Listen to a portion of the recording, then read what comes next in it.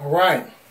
Um, my name is Charles, the Coach Wilson, and um, I just wanted to bring you some next level uh, tips to uh, grow and develop your uh, network marketing business. So, uh, in the past couple days, I've been having conversation with different networkers from a number of different companies, and I'm also just had the uh, uh, incredible experience to be at some great training this um, past weekend.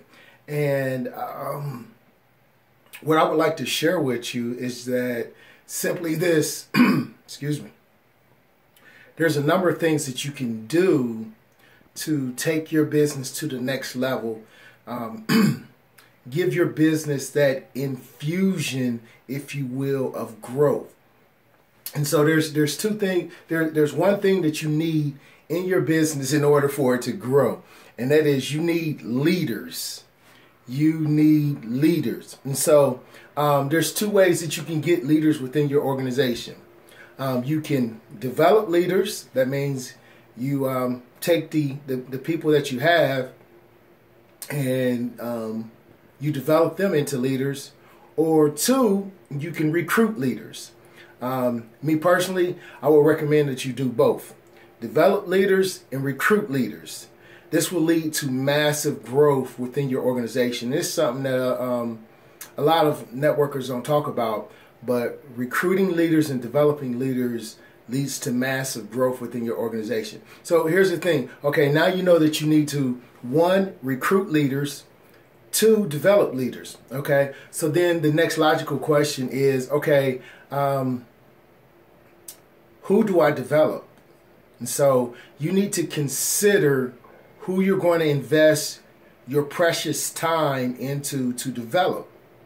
And so I'm not going to get into any criterias. I'll let you um, come up with that. But you need to identify what is your criteria in order for you to, to feel like someone has leadership potential.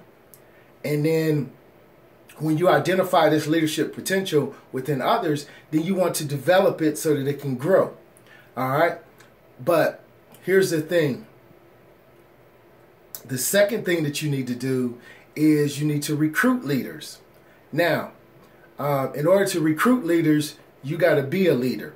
And so when you go back to those things that you look for in a leader, you need to ask yourself, you need to take an assessment of yourself and see how far you rate up on those skills or those characteristics? Are you the leader that you want to have on your team?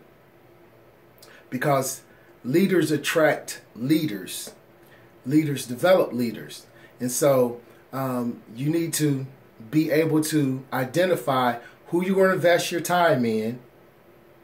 And you also need to be able to um, identify how you determine um, that someone is a leader.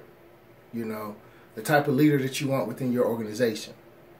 And so, um, lastly, lastly, a big key to um, recruiting leaders is you got to have vision.